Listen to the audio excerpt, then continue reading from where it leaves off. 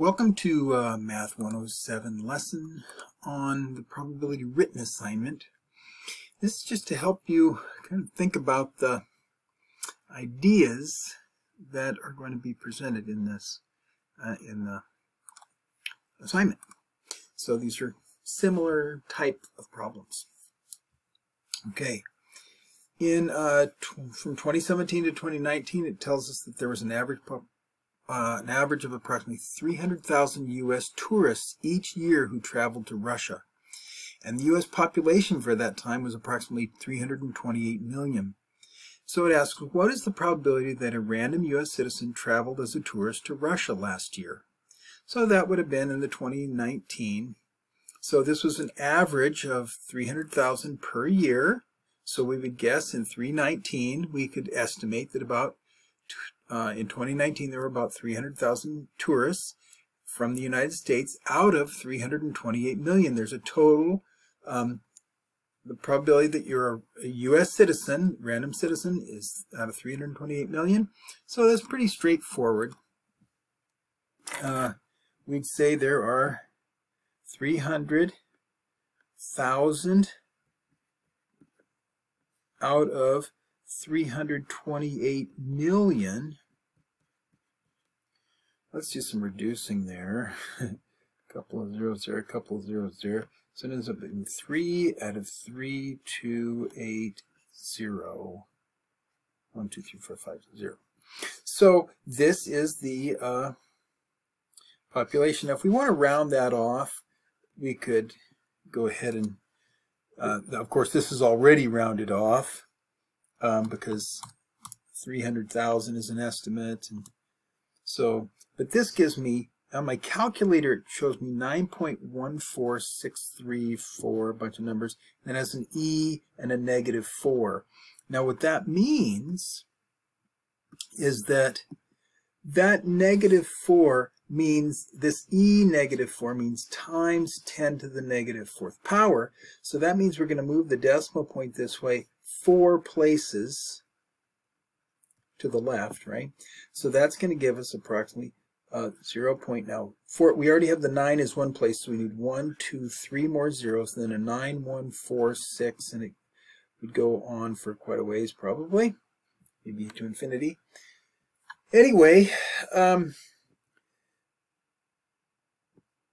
this, uh, we, we might say that's approximately I think in uh, the book it often wants one or two, you know, two, Sig- oops, I missed a zero there, uh, uh, two or maybe three significant figures, maybe a five there. So uh, that would be the decimal version. Instead of the, the fraction's easier, I just put in the fraction. Okay, so it's fairly simple. Now, what's the probability that you traveled to Russia as a tourist last year? Now, if I'm answering this question, me personally, I know that I did not travel to Russia last year as a tourist. So I am not a random, see, look at the difference between the questions. The random citizen could be anybody. But, but if you're picking just me, I did not go to Russia. The probability I went to Russia is zero. I did not go to Russia. Now, if you, if you're asking this question of one of you, if you as a student, if you did happen to go to Russia last year as a tourist, then you would have to say one, one, or write a hundred percent because you went. So the answers to this pretty much should be either zero if you did not go, or one if you did. Okay. Now let's look at the next question. It says, estimate the probability the random U.S. citizen will travel to Russia as a tourist in 2025. Well, we don't have enough information to know how many people will travel to Russia in 2025. All we know is that in three years in a row, 2017, 2018, 2019, the average was about 300,000. Is that going to change much? Well, it could. There's political differences and variations and uh, so it probably won't be the same, but it does say to estimate it. So with the information I have, my best guess, my best guess with the information given is 300,000 out of uh, 318 million, right? 328 million out of 328 million. So again, approximately 0.00009, I think that was 15, wasn't it? 915. Same thing. What do we use a lot of times to estimate the probability of something in the future is just the information we have from what has happened in the past.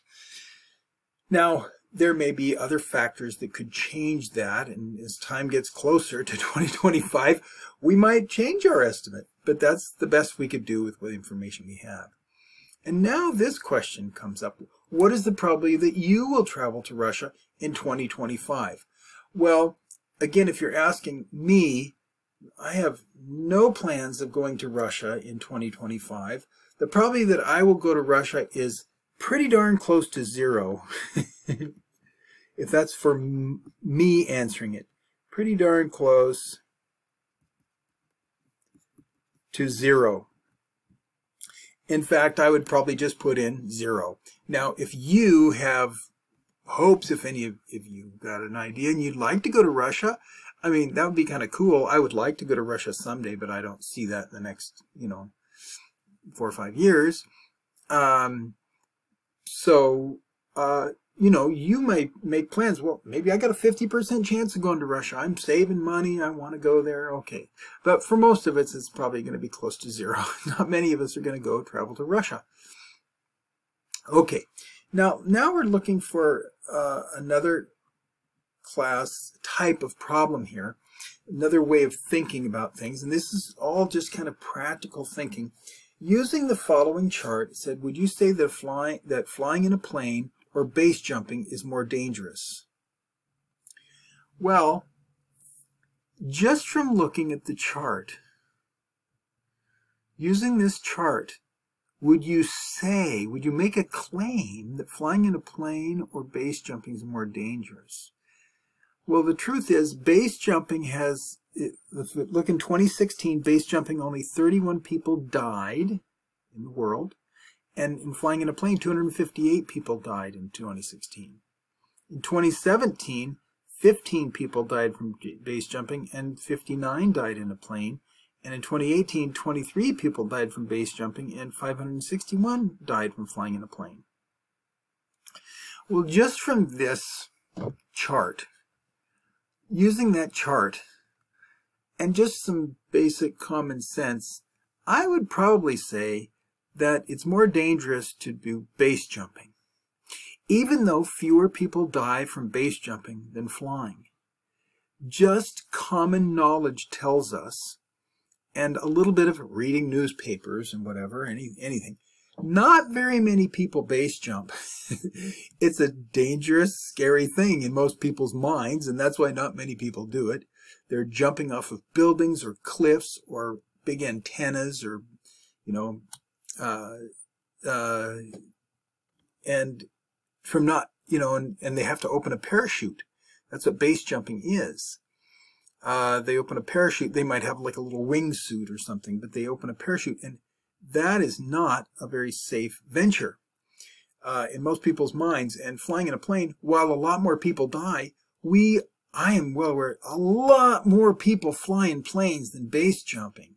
So look, only it looks like in 2016, about uh, less than 10 times as many people died in a plane than base jumping, right? Even if this was 300, if there was 10 times as many people flying and dying in plane crashes, I'd say, well, I know just from common knowledge that thousands and thousands and millions of people fly in planes every year, but not very many people base jump. So this is a much more dangerous venture in my mind.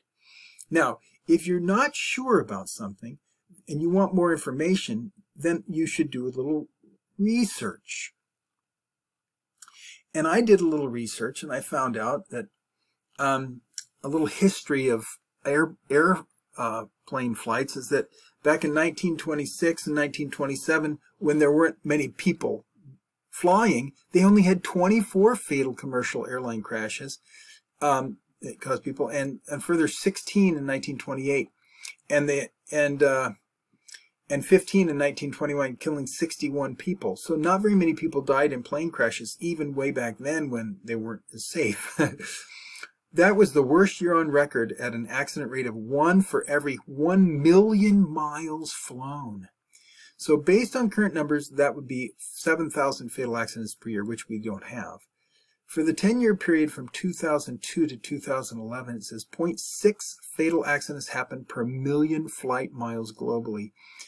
And that was down to, let's look, 22 fatalities per 1 million flights, or uh, 12.7 million, uh, 2.7 per million hours flown. So it's very small, right? There's hardly any uh, fatalities compared to how many, many people fly. There it is. It says down here, we have 5.21 fatalities per million departures. That's hardly any. And now you look at base jumping, and it says that estimates of injury rate, there are, this is for injuries, but fatality rates of 0.04% per jump. 0.04 is 4 for every 10,000. 4 in every 10,000 jumps, someone dies. That is, that is, and many people do it multiple times, so that's 1.7% per participant. Almost 2% of base jumpers die every year. That's a very high rate. I mean, you couldn't have airlines that are flying where 2% of their passengers each year are dying. It would be, you know, no one would fly if one in every 50. That means one in every 50 about. So that's uh, really pretty terrifying. So uh, these don't let the simple numbers, right? The 31 compared to 258, there's still a lot higher proportion of base jumpers dying. So which is more dangerous or more likely to cause death? Base jumping by a long, long way. Okay, enough. Well, that's all for this. We'll see you in the next video.